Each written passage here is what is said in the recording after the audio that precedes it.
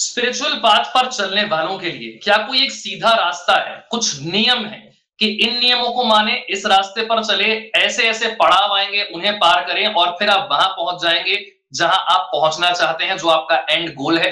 या फिर एक जीवित गुरु के बिना इस रास्ते पर चलना और पड़ावों को पार करना, ये संभव नहीं निन्यानवे प्रतिशत लोगों के लिए किसी गुरु का सहयोग मार्गदर्शन ज़रूरी है क्योंकि हम सामान्य बुद्धि के लोग हैं।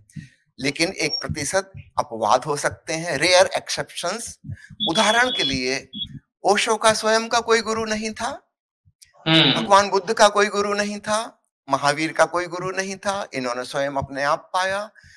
लेकिन ये अपवाद है इनको हम नियम नहीं बना सकते।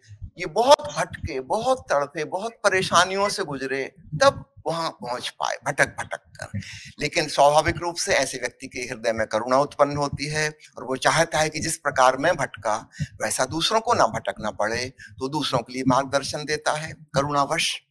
तो उनकी बात का सहयोग लेकर हम आसानी से अपनी मंजिल तक पहुँच सकते हैं।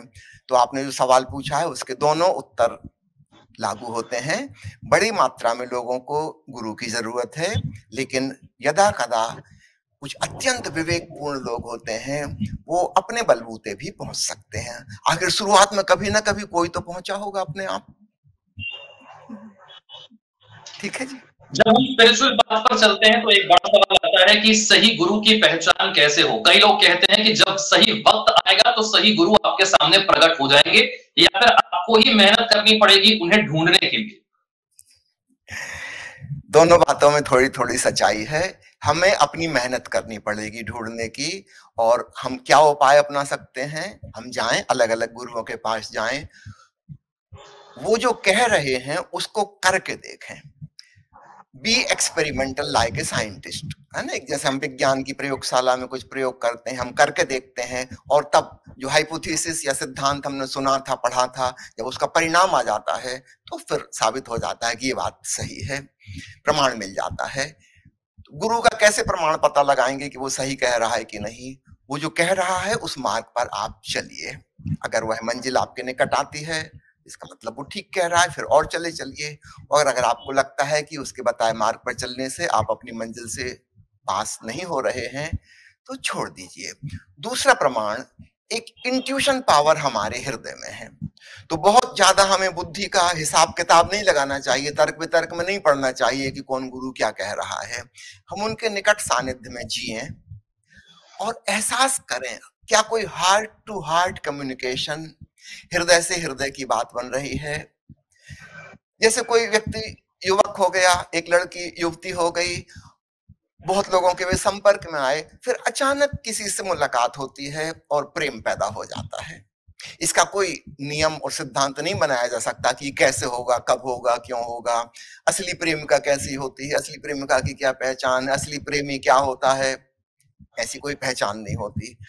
वो तो हम संपर्क में आएँगे और हम पाएँगे, अचानक जब प्रेम हुआ तो हो गया, और जब तक नहीं हुआ तो नहीं हुआ। इसमें कुछ कर नहीं सकते। तो जिसको हम शिष्य गुरु का संबंध कहते हैं श्रद्धा, वो प्रेम का और बड़ा रूप है।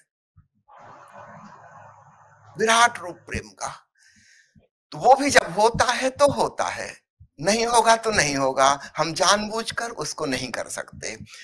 तो असली बात है श्रद्धा, तर्क वितर्क नहीं। वो गुरु क्या कहता है, क्या नहीं कहता है, क्या करता है, क्या नहीं करता, ये बातें गौण हैं, उन पर मत जाइए। उसके निकट होकर फील कीजिए। अगर आपके दिल को कुछ छू जाता है और श्रद्धा उमड़ जाती है तो आप सौभाग्यशाली हैं। आप वहीं चलिए रुकिए।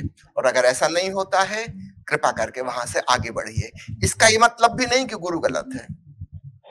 हम उसके बारे में निर्णय नहीं ले रहे हैं। हम सिर्फ़ इतना कह रहे हैं कि हमारी मैचिंग वहाँ नहीं जमी। जैसे हम किसी दुकान पर गए, कपड़ा खरीदने की, जूता खरीदने, और हमने कई प्रकार की चीज़ें देखी। जो जूता आपके नाप का आ गया फिट आपने वो ले लिया। इसका ये मतलब नहीं कि दूसरे जूते गलत हैं। वो भी किसी को पसंद आएँगे, वो भी किसी के नाप के होंगे। तो बजाय हम यह निर्णय करने के कि यह गुरु सही है या गलत है, ऐसा नहीं। हम ये कहें, हमारी मैचिंग कहाँ बैठी? हमको कहाँ जमा? जो चीज़ हमारे काम की है, हम उसको ग्रहण कर लें। तो इसमें हमारा अहंकार नहीं होगा, हम किसी पर दोषारोपण नहीं कर रहे हैं। हम अपनी रुचि रुझान के अनुसार किसी गुरु को ढूंढ रहे हैं और दूसरी बात आपने जो कहा कि ठीक वक्त आने पर ही वो हो पाएगा, ये वाली बात भी बिल्कुल सच है। केवल हमारे करने से ये नहीं होगा। एक समय आएगा, हम पाएँगे, अचानक कुछ हो गया और तब हमें इस बात का एहसास होगा कि यह भी गुरुदेव की कृपा है। तो हमारी खोज ने एक भूमिका निर्मित की। अगर हम खोजेंगे ही नहीं तो गुरु से मुलाकात नहीं होगी। तो हमारी खोज भी ज़रूरी है, लेकिन जब गुरु से मिलन होगा और भीतर वो शिष्य भाव और श्रद्धा उमगेगी, तब आप भली भांति जानेंगे कि वाह, क्या बात है। ये हमारे वश के बाहर था। ये परमात्मा की कृपा है, ये गुरु की करुणा है। तो दोनों बातें सच हैं।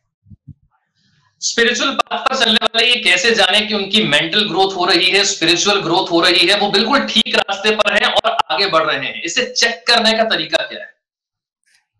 जैसे बुखार नापने का थर्मामीटर होता है ना, ऐसा ही स्पिरिचुअल रास्ते पे चलेंगे तो हमारा जो बुखार है, वो कम होने, होता जाएगा। चित्त की चंचलता कम होगी, अशांति और बेचैनी कम होगी, निराशावादी दृष्टिकोण, नकारात्मक रवैया हमारा दूर होगा, हम चीज़ों को ज़्यादा पॉजिटिवली सकारात्मक ढंग से देखना सीखेंगे, उससे हमारे जीवन में एक प्रफुल्लता और आनंद की अनुभूति होगी। जीवन में घटनाएँ आज भी वैसी घट रही होंगी जैसे पहली घटती थी, लेकिन हमारा नज़रिया बदल जाएगा, हम उसको बहुत पॉजिटिवली देख पाएँगे और हर चीज़ हमको खुशी और शांति प्रदान करेगी। हमारे भीतर से शिकायत भाव, वो जो कंप्लेनिंग नेचर है, वो खत्म हो जाएगा। हम दोषारोपण करना बंद कर देंगे। हाँ अगर भूल चूक दिखाई देगी तो अपनी कभी दिखाई देगी। कबीर साहब ने कहा ना बुरा जो देखन में चला बुरा ना मिलिया कोई। भीतर खोजा आप ना मुझसे बुरा ना कोई। हमारी दृष्टि पर केंद्रित ना होकर स्व केंद्रित हो जाएगी। हमारे जीवन में शांति बढ़ेगी प्रीति बढ़ेगी। हमको एक आंतरिक मुक्ति का एहसास होगा। एक फ्रीडम भीतर से लगेगी जैसे बंधनों से हम छूट गए। हमारी कामनाएँ वासनाएँ महत्वाकांक्षाएँ क्रम से कम और कम और कम वो जो बुखार चढ़ा था ना हमको, वो धीरे धीरे एम्बिशन का वो कम होने लगेगा। और हम पाएँगे, हम अकारण प्रसन्न हैं। Feeling happy for no reason इसी का नाम आनंद है। इसके पहले हम जो खुशी या प्रसन्नता जानते थे, हमेशा उसका कोई कारण होता था बाहर की दुनिया में। धीरे धीरे ऐसी स्थिति बनती है। बाहर क्या हो रहा है वो सवाल नहीं। हम अपने भीतर मगन हैं। एक अकारण प्रसन्नता 24 घंटे छाई हुई है। इसका नाम है आनंद। विदाउट एनी कॉज कोई वजह इसकी नहीं है। एक मस्ती छा गई। तो ये एक उदाहरण से समझ लीजिए, एक व्यक्ति को हमने कहा कि आप जिस रास्ते पर जा रहे हैं, वहाँ आगे नदी आएगी। बगल में एक बहुत अच्छा बगीचा है, वहाँ फूल खिले हैं पंछी वहाँ पर हैं। वो पूछेगा, क्या प्रमाण होगा कि मैं नदी की तरफ़ जा रहा हूँ या भटक गया हूँ? हम उससे कहेंगे कि जैसे जैसे आप नदी की तरफ़ जाएँगे हो सकता है हवाओं में शीतलता का एहसास होने लगे। नदी की तरफ़ से ठंडी हवाएँ आ रही होंगी। खुशबू आने लगेगी। बगीचे में वहाँ बहुत फूल खिले हैं और चूँकि पंछी भी बहुत हैं, हो सकता है आधा किलोमीटर दूर से भी कोयल की आवाज़ सुनाई पड़ने लगे। तो आप समझ जाना कि आप ठीक दिशा में जा रहे हैं।